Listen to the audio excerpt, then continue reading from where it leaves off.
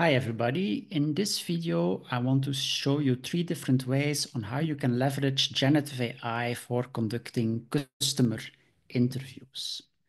So before we go into the generative AI part, let me briefly explain what I exactly mean with customer interviews. So when we want to develop a new venture, a new startup, it's very important that we understand in depth the problem that we want to solve. So that means we need to understand what is the pain point of our potential customers and how will we be able to solve it. And that's why we want to do interviews to get a deep understanding of the pain point and how potential customers experience this pain point. And here we rely on a specific approach that was described in the book The Mom Test of Rob Fitzpatrick, where we want to kind of ask very factual questions on what was the hardest part about the pain point, when did customers experience it, and how have they tried to deal with that. And of course, it's always difficult to find people to do interviews. It's time consuming. You actually need to build some experience in doing a good interview. So today we will actually leverage generative AI to help us in conducting what we call synthetic interviews. So we will not do real interviews with people, but we will use leverage generative AI to simulate customer interviews. And the first way to do that is to leverage ChatGPT and simply do some prompting. So let me briefly explain how that works. So I will go to my prompt here that I have developed. So this is a prompt that can kind of trigger an interview. So here I give ChatGPT a certain identity. So I'm saying, look, you're a family of two adults and two children who are living in a rented apartment. I'm a startup founder who wants to develop a new business to address the topic of monitoring and paying energy bills. Yeah, so in this case, we want to solve the pain point of monitoring and paying energy bills. I want to engage in a customer interview with you to explore pain points regarding this topic. We want the output in a conversational style, and then I ask my first question. And then you will see if I run this prompt, indeed, ChatGPT immediately starts engaging in an interview with me, where not only the adults are part of the interview, but even the children will give some feedback. And then I can start asking a follow-up question, and you will see the interview continues, and then I can ask another question. So in that way, I can really engage in an interview as you would do with a real person. So this is definitely a first interesting approach to apply. Another approach to make it even more kind of realistic is to use the voice mode that you can now use in uh, the voice mode of ChatGPT. So let me try to do that. Um, so I will start now a new chat here. Um, so I can enable the voice mode here, and then I can again make my prompt, and then we can engage in a conversation. So I will briefly do that now with the prompt that I generated before. So instead of writing the prompt, I will speak the prompt, and then I can start this conversation. So let me briefly try that. It might take some time to initiate, but then I will kick it off. So now we have to briefly wait. Got it. Let me know when you're ready to continue. You are a family of two adults and two children who are living in a rented apartment in a large city. I'm a startup founder who wants to develop a new business to address the topic of monitoring and paying energy bills. I want to engage in a customer interview with you to explore pain points regarding paying energy bills. You will be the customer, I will be the interviewer. Here is my first question. What is for you the hardest part about paying energy bills? The toughest part about paying energy bills for us is definitely the inconsistency. Our bill seems to fluctuate a lot from month to month, and it can be hard to predict how much we'll owe. This makes it challenging to manage our monthly budget since we never really know how much to set aside for energy costs. Why is it exactly so hard to predict? It's hard to predict because our energy usage depends on many factors. For instance, changes in the weather can lead to higher heating or cooling needs.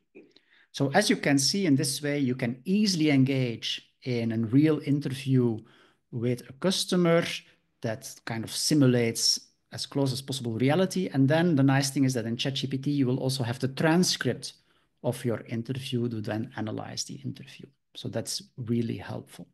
So that's really a second approach that you can use. And a third approach that I want to share with you is a more sophisticated approach. Namely, we can also start building applications to do interviews using AI agents. So in this case, I have developed a web application. You will find the link in the description of this uh, movie to uh, actually use this uh, tool.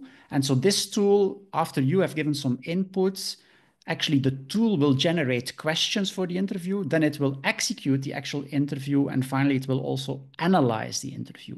So let me first show you how it works, and then um, we can go a bit deeper into the details. So let me activate the application. So this is a Streamlit application that is publicly available. Now to do use this, you will need to have what is called a Groq API key. And you can easily get that by going to um, the console uh, site from groq.com. Yeah, then you need to create a username and password. And then you can create an API key. So that means then you can get a bunch of numbers, like a kind of long password. And that's what you need to enter into the web application. Now, this is completely free. You also don't have to give a credit card or something. You just have to create this API key on the website, and then you can use the application. So let me briefly show you how that application works. So let me go back to the application. So we have to copy paste the key. So now I will use my key. Then we need to describe what is the pain points that you want to explore. So in this case, again, uh, we can write uh, we um, paying and monitoring energy bills is the pain point.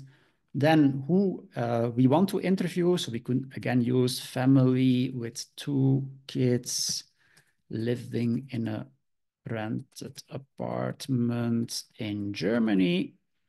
And if you have done interviews before, you could even already add some learnings from prior interviews. Now, now it's the first interview, so we will not do that. And then I can just click on Start Interview.